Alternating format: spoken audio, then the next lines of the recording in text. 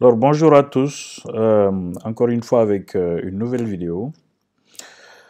Alors, euh,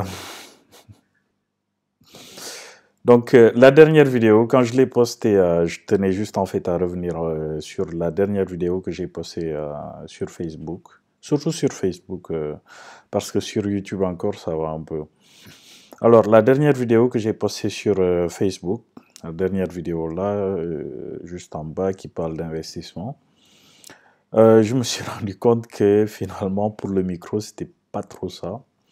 Hein, pourquoi? Parce que euh, le bruit en fait sur Facebook, hein, vous savez, quand vous faites une vidéo et que vous postez sur Facebook, je sais pas pour vous, hein, mais moi en fait quand je fais une vidéo avec Quick Player ou et que je poste sur euh, Facebook, hein, Facebook en fait ils ont en fait tendance à augmenter le son. hein. Donc euh, la dernière vidéo quand je l'ai faite, il y avait le son qui était là hein, sur euh, parce que après avoir fini la vidéo, je l'ai joué, rejoué pour voir un peu ce qu'il en est pour le son. Et donc quand j'ai rejoué la vidéo sur mon PC, ça allait, hein, le son il était ok, il était pas très très bien, mais euh, hein, c'était normal.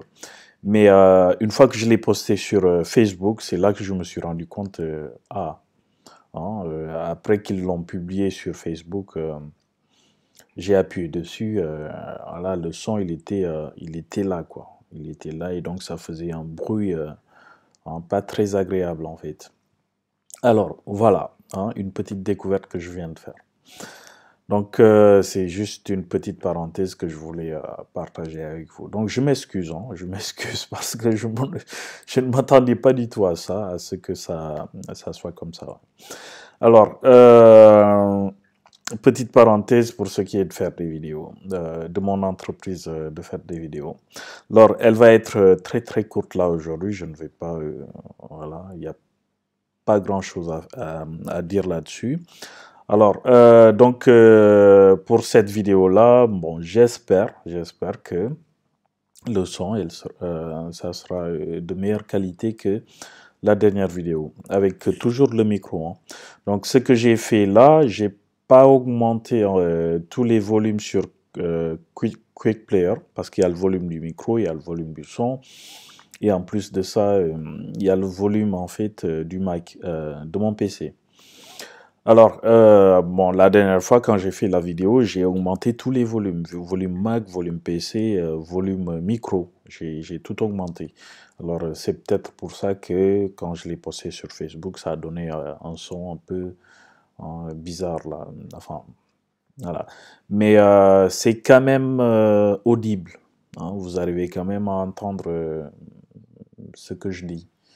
Donc, je me suis dit, est-ce que je ne vais pas refaire la vidéo? Mais non, non. Je m'excuse hein, pour le son. Voilà, donc là, je referme ma parenthèse. Alors, aujourd'hui, donc suite à la dernière vidéo, j'ai eu, euh, eu un contact, hein, euh, une personne qui m'a demandé, qui, a regardé, qui a visionné la vidéo et qui m'a demandé, hein, est-ce que tu pourrais faire une vidéo sur actif pendant qu'on y est? hein? Qu'est-ce que, qu'est-ce qu'un actif? Et euh, il m'a posé deux questions en fait. Et donc je me suis dit, euh, voilà. Donc si vous aussi vous avez des questions et que vous avez euh, euh, quelques, comment dire, euh, sujets que vous voulez que je traite pendant que je suis en train de traiter un thème, par exemple, comme la dernière fois sur euh, l'investissement, j'ai parlé aussi d'actifs. Et donc, si vous voulez, comme, comme, comme, euh, comme lui l'a fait, vous pouvez aussi me dire, euh, bon, euh, est-ce que tu peux faire une vidéo sur tel, tel, tel, pendant qu'on y est. hein? Donc, ça sera aussi un plaisir pour moi. Parce que j'ai des thèmes, j'ai des thèmes que je, clarifie, mais, enfin, que je classifie. hein, les prochaines vidéos, je vais commencer à rentrer dans les détails. hein, dans les détails, dans je vais commencer à passer euh, au next level, euh, à l'étape supérieure en fait. hein, pour ce qui est d'entreprendre. Donc si vous avez euh, des, sujets comme ça que vous voulez que je traite, hein, si vous voulez que je développe ces sujets-là, que je vous donne mon point de vue, que je partage aussi mon expérience euh, hein, pour ce qui est de ce sujet précis, n'hésitez pas. Hein, vous pouvez m'envoyer un message privé ou sinon euh, vous postez ça sur les messages sur YouTube, euh, sur Facebook ou YouTube, dans la partie commentaires. Voilà, donc vous êtes tous, vos questions sont les bienvenues. si c'est un sujet que je trouve intéressant ou voilà, si, si je trouve que c'est le moment de présenter le sujet, je le ferai. OK? Euh, Alors, euh, je referme la petite parenthèse. Donc, suite à ça, en fait, suite à la vidéo de la dernière fois, la personne m'a demandé est-ce que tu pourrais faire une vidéo, sur euh, actif? Qu'est-ce que j'entends par actif, hein, de mon point de vue? Et surtout, comment mettre en place un actif, ok? Comment créer un actif? Alors, donc, euh, cette vidéo-là, euh, vous avez déjà le plan. La première partie, je vais parler, euh, je vais essayer de définir hein, un actif, un actif, voilà. Et dans la deuxième petite partie, dans la deuxième partie, je vais, hein, je vais parler de comment mettre en place un actif, comment créer un actif, comment hein, commencer une activité. Parce qu'en actif aussi, ça peut être une activité. Ce n'est pas juste une action que vous achetez à la bourse. Ce n'est pas, pas un actif, quoi. Ou un investissement que vous faites à la, à la banque ou un, placement. Il euh, n'y a pas que ça. Il n'y a pas que ça. Parce que tout, de suite, euh, euh, beaucoup de personnes, enfin, la majorité des gens, ils se disent que, bon, moi, je ne suis pas entrepreneur, je suis employé. Donc, si je suis employé, les seuls actifs euh, sur lesquels hein, je peux investir, c'est hein, euh, dans la bourse, euh, à la banque ou acheter des, enfin, acheter des actions à, la bourse, hein, faire un placement à la banque ou des trucs comme ça. Non, il n'y a pas que ça. Il n'y a pas que ça. Il y a des milliers, il y a des millions.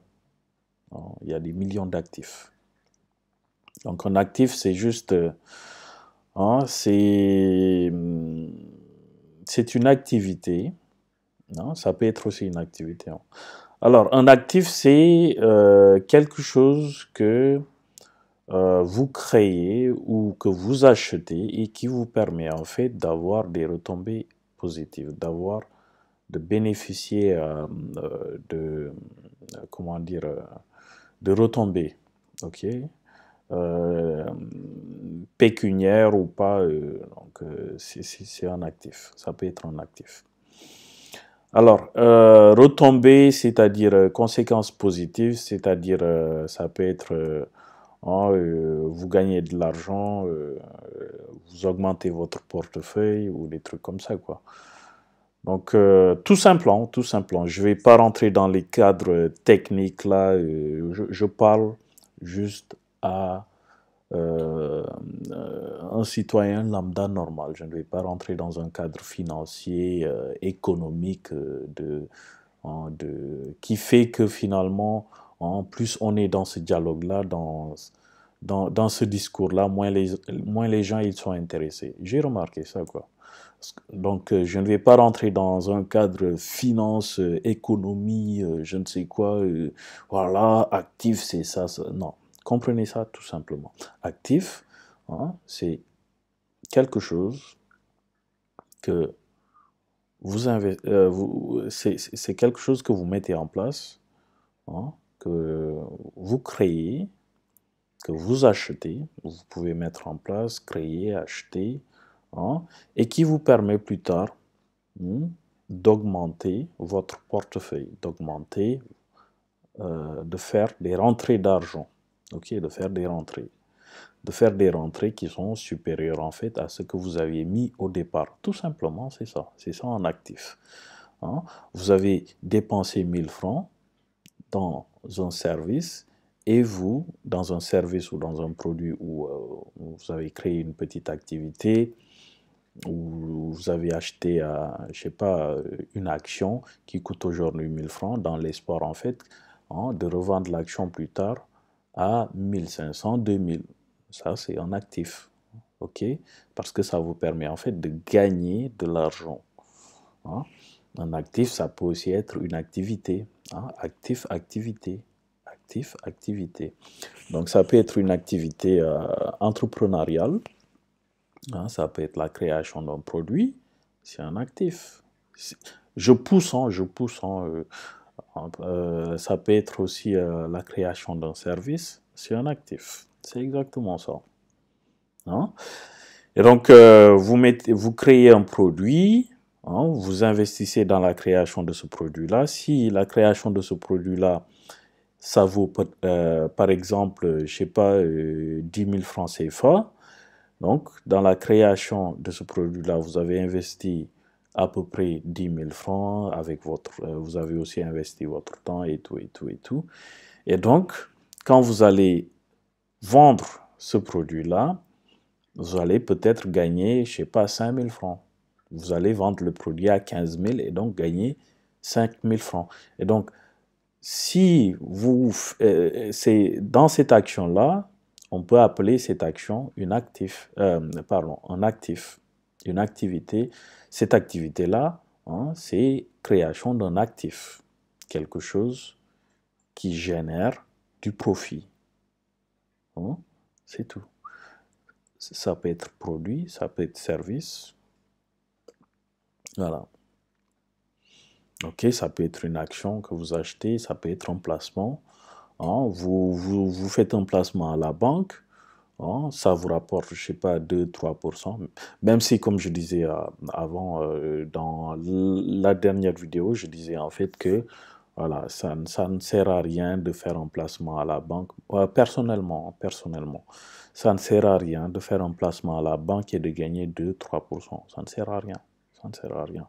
Vous savez pourquoi? Parce que l'inflation, en fait. Donc moi, ce genre de placement, je ne peux pas considérer ça comme un actif. Parce que vous allez gagner, certes, 2-3%, mais de l'autre côté aussi, vous avez l'inflation. Les gens, ils ne se, rendent pas compte de, l'inflation. L'inflation, c'est la perte de ton pouvoir d'achat. Si vous avez une inflation de 2% dans la société, inflation, c'est par exemple euh, une augmentation des prix. Hein, si euh, euh, cet iPhone, ça coûte, je sais pas, 500 dollars, hein, et que l'iPhone là, l'année prochaine, à cause de l'inflation, c'est 500 dollars, ça passe à 520 dollars. il y a une inflation. Il y a une inflation. Donc, vous avez dépensé plus d'argent que les années précédentes pour vous acquérir le même produit. C'est ça l'inflation. On dépense plus d'argent pour, vous, pour s'acquérir le même produit. Et donc, euh, moi, en placement à la banque, je ne trouve pas que c'est un actif. C'est un actif qui en la peine. Non. Pourquoi? Parce que si la banque, même si vous gagnez 2-3%, euh, ben de l'autre côté, vous avez aussi perdu 2-3% en inflation. Donc vous avez gardé la même somme d'argent 2-3%. Hein? Euh, pour avoir 2-3%, vous, avez, euh, vous avez mis par exemple 100 euros pour avoir 2-3%, alors que de l'autre côté, les mêmes 100 euros que vous avez l'année passée pour pouvoir dépenser, euh, pour pouvoir acheter un produit qui coûtait 100 euros l'année passée, ben, à la fin de l'année, peut-être ce produit-là, il va coûter 105 euros. Donc il y a eu une augmentation de 5%, par exemple. Alors que euh, quand vous aviez placé ces 100 euros-là, les 100 euros, au bout d'un an, ça vous a rapporté que 2 euh, euros. Donc ça fait 102 euros, 2%. Donc vous avez 102 euros aujourd'hui, c'est ce que ça vous a rapporté. Alors que si vous voulez acheter le même produit que vous auriez acheté à 100 euros euh, avant à 100 euros, l'année passée à 100 euros, aujourd'hui à 105 euros, vous avez perdu de l'argent. Donc, avec la banque, vous gagnez 102, ok, 2 euros. Mais si vous achetez, si vous voulez acheter le même produit, vous allez perdre de l'argent. Ok Voilà. Donc, il faut faire ces jugements-là. Hein, pas juste se concentrer sur, oui, la banque m'offre 2, 3, 4, 5%. C'est rien, c'est rien. À côté de ça, hein, il y a l'inflation aussi. L'inflation, c'est ça. Donc ça, je ne peux pas considérer ça comme un actif qui en vaut la peine, qui en vaut le coup. Donc voilà. Donc euh, dans la définition de l'actif, c'est ça. Actif, quelque chose qui permet de générer du profit plus tard et de faire, euh, d'augmenter en fait son portefeuille. C'est ça en actif. Alors la deuxième petite euh, partie, comment créer un actif? Comment commencer? Comment mettre en place un actif? Alors, je ne vais pas rentrer dans ces détails-là aujourd'hui dans cette vidéo-là. Je trouve que, voilà, je compte en fait y aller petit à petit, petit à petit, mais pour le moment, c'est les bases. Alors, si vous voulez créer un actif, si vous voulez commencer une activité, moi, le, conseil que j'ai à vous donner, c'est commencer petit. Commencer petit. Commencer petit que vous ayez aujourd'hui un business de 1 million et que le même business, il se transforme en un business de 1 milliard, vous savez ce qui a changé? C'est juste la quantité, c'est tout. Le système, il peut s'adapter. Donc, le plus important en fait, c'est de commencer à mettre en place un système avec peu. Vous mettez en place le système avec peu. Si par exemple, Hein, euh, vous voulez créer une activité. Supposons, supposons, supposons, moi je veux créer une activité de hein, transport, ok, ou euh, de, livraison, par exemple, de livraison. Alors, je, je, comment dire, euh, je réfléchis sur le système que je vais mettre en place. Je me dis par exemple, pour livrer de A à B, j'ai besoin d'un camion. Le camion là, je peux le louer. C'est bien. Donc de A à B, j'ai besoin d'un camion. OK? Donc moi, pour mettre en place ce système-là, je vais essayer petit. Je ne vais pas tout de suite penser à, hein, louer 100 camions ou 1000 camions. Non. Tu commences petit. Hein. Et même si tu avais une demande de, de, de livraison pour 100 camions, non. Tu ne commences pas avec 100 camions, tu commences avec un camion. Vous savez pourquoi? Bon, d'une, c'est pour limiter les risques, et de deux, c'est pour s'entraîner. Donc, quel que soit l'investissement que vous voulez faire, quelle que soit l'activité que vous voulez commencer, commencez petit. Moi, je dis tout le temps ça. Parce que quand tu commences petit, tu as le temps, en fait, d'apprendre à bien comprendre le système. Et donc, quand tu vas vouloir agrandir le système, c'est juste une question de quantité parce que le système, il sera là, la base, elle est là.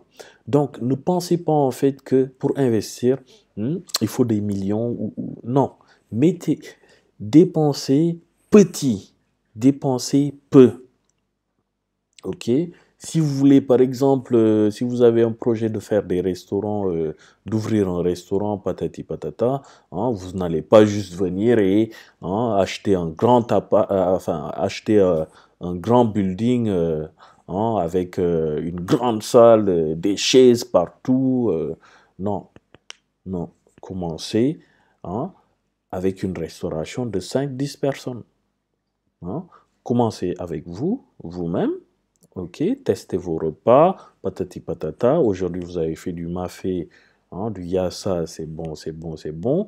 Et puis après, vous passez à l'étape supérieure, vous commencez à inviter vos amis et vous leur hein, euh, contre-paiement. Hein. vous leur dites juste, euh, voilà les gars, euh, ok, si vous voulez manger, passez chez moi. Hein, je commence à vendre, à faire des plats. Donc vous faites des plats de 2, 3, 4, 5 personnes.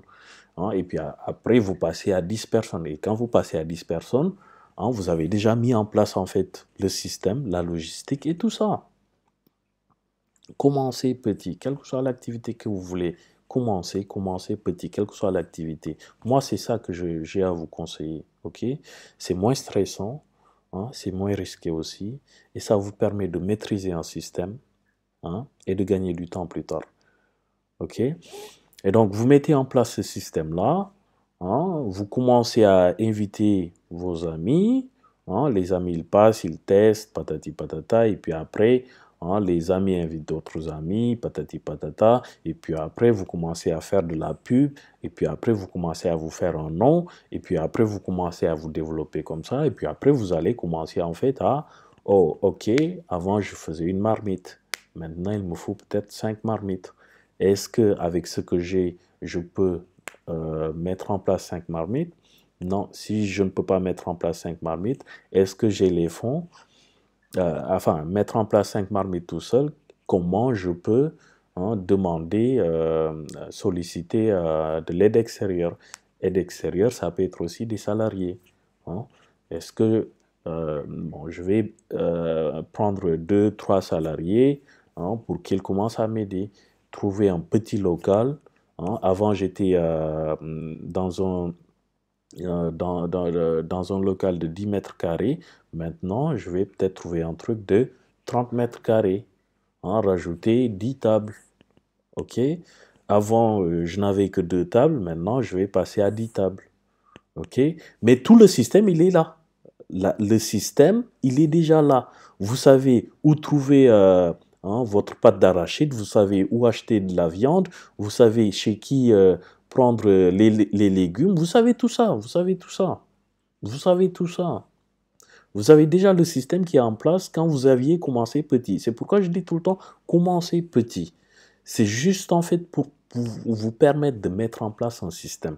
Ne, ne, ne, vous fatiguez pas à penser à non, commencez petit. Si c'est la première fois que, que, vous le faites, commencez petit. Moi, c'est tout ce que j'ai à vous dire pour ce qui est de créer un actif, commencer petit. Donc plus tard, dans les prochaines vidéos aussi, je vais essayer de développer euh, hein, les différentes euh, étapes euh, dans les détails. Ok Donc voilà, dites-moi ce que vous pensez de, de la création de l'actif, surtout. C'est très important, c'est très important. Hein. Et, des fois aussi, c'est pas forcément qu'il faut avoir de l'argent. Comme je l'ai dit dans la dernière vidéo, c'est pas euh, euh, pour toutes les activités. Hein, la création d'une activité, c'est pas forcément qu'il faut de l'argent, qu'il faut de l'investissement, qu'il faut des partenaires. Commencez avec ce que vous avez. Si vous avez que des limons, faites de la limonade. Faites de la limonade. Ne vous fatiguez pas à vouloir grandir tout de suite. Non. Non. Commencez petit. Donc vous pouvez tout à fait être salarié et à côté commencer une petite activité. Vous allez au travail euh, de 8 heures à je ne sais quelle heure, vous rentrez. Hein, si c'est un travail qui demande, euh, je sais pas, une présence physique, euh, hein, voilà. Donc vous pouvez le faire le week-end. Vous pouvez le faire le week-end. Vous commencez, vous faites genre hein, deux jours par semaine Hein, et puis après, euh, vous commencez à inviter vos amis, venez tester, patati patata. Hein, le samedi, ils savent que le samedi vous faites ça, ou que le dimanche, à telle, de telle heure à telle heure, vous faites ça, vous proposez ça. Vous vous entraînez comme ça, vous vous entraînez, vous vous entraînez, vous vous entraînez, jusqu'à quand vous allez sentir que maintenant la demande que j'ai, elle me permet de survivre. OK? Et donc là, vous pouvez euh, petit à petit vous détacher de votre travail pour vous, commencer, euh, pour vous concentrer davantage sur l'activité que vous avez commencé.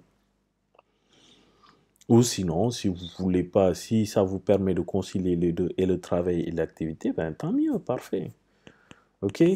Donc voilà tout ce que j'avais à dire euh, aujourd'hui pour ce qui est de l'actif. Hein. Mais euh, j'ai encore beaucoup de choses à dire là-dessus et pour ce qui est surtout en fait des différentes étapes Dans la création de cet actif-là, voilà, de cette activité. Voilà, donc euh, je m'arrête là et j'espère que cette fois-ci, euh, le son, ça sera parfait. Hein, et je vous dis à bientôt. Peut-être demain aussi, je vais faire une, euh, une nouvelle vidéo. Allez, ciao.